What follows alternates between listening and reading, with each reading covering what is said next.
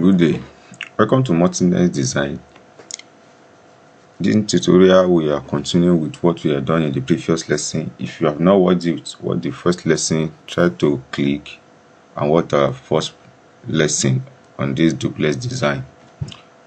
In this particular project what we are going to do is to create grid so that by the time we are putting the upper floor we will know how the structural element and what are the function of grid? Grid allow our engineers to understand the position of load bearing and every other access cutting through the buildings so what we are going to do now is to create the building a, a grid. So click on architecture go to grid. So start your grid line with one. Now you can decide to use pick points which i normally use so you pick point will allow you to pick the middle.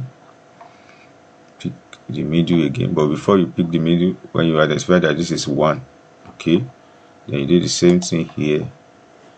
Every part that you know that you have a wall as a foundation lane you put your grid there. That will allow you to align most of your wall. And they will be in accurate position for all the design elements. So that's how you put up the grid line there.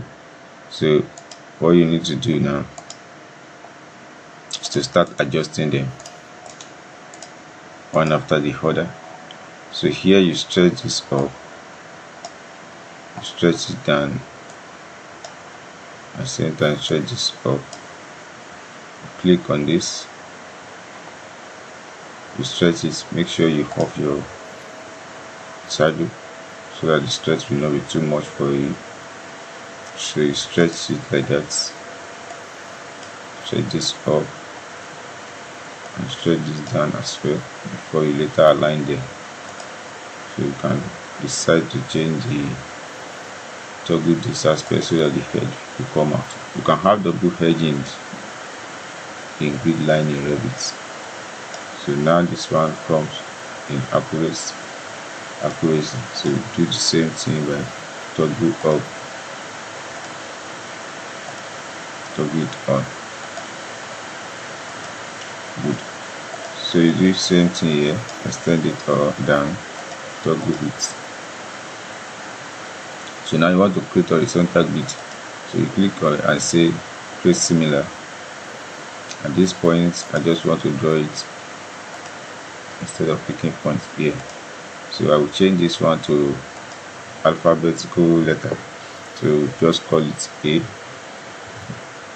Alright so in capital letter do this one. So what the next the next one you are going to do is not need to be labeling be labeling it again.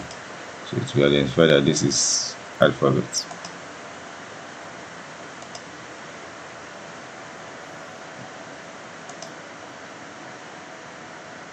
Good and that's how you create your grid in Revit. So please subscribe to our channel log on to it.